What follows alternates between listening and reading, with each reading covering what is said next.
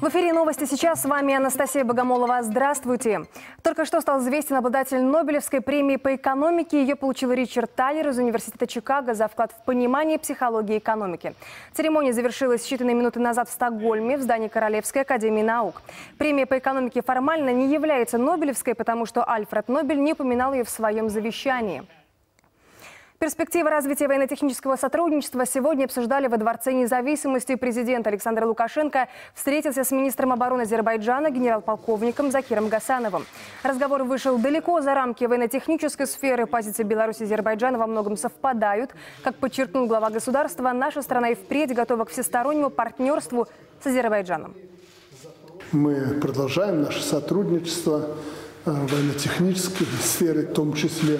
Не хочу ни перед кем оправдываться, какой характер носит наше сотрудничество. Хочу только сказать одно, что э, наши отношения ни в коем случае не нарушают ни один международный договор, ни одну резолюцию Совета Безопасности, ООН в целом и так далее. Э, мы суверенное независимое государство, и мы вправе определять те направления сотрудничества, которые соответствуют духу времени, запросам наших государств.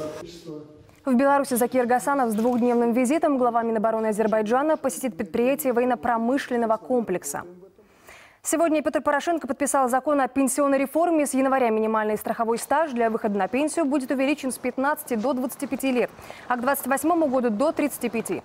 Пенсионный возраст при этом изменяться не будет. Реформа пенсионной системы – одно из ключевых требований международных кредиторов для продолжения финансирования страны. Дождливо и ветрено будет в Беларуси на этой неделе. Погоду будут определять атмосферные фронты Западной Европы. Завтра почти везде дождь и ветер порывами до 20 метров в секунду. Ночью до плюс 7, днем до 11 такая погода будет минимум до воскресенья. Температура воздуха будет находиться в пределах климатической нормы. А, ночные минимумы а, плюс 2, плюс 8, а дневные максимумы плюс 7, плюс 13. К слову, сегодня начали подключать отопление в жилых домах в Минске и в Гомельской области. Это были самые свежие новости к этой минуте. Подробности мои коллеги расскажут в 15 часов. Хорошего дня!